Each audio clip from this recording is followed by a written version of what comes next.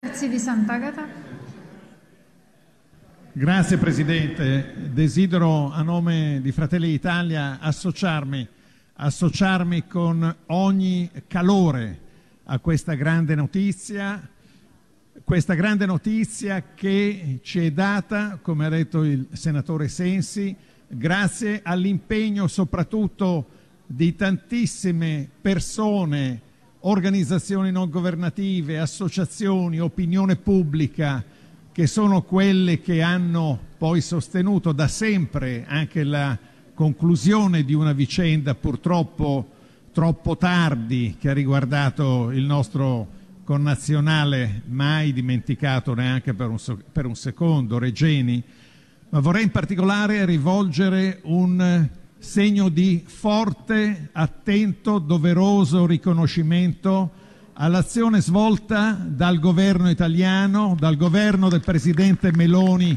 in questi mesi, in queste ore, a seguito sicuramente di un'azione diplomatica attenta, un'azione che spesso non è stata compresa anche con volontà di non comprendere, ma che ha portato con la sobrietà talvolta e anche la riservatezza con la quale le azioni vere, negoziali si possono portare avanti ha portato a questo risultato. Era da qualche giorno che si parlava di questo segno di grazia, adesso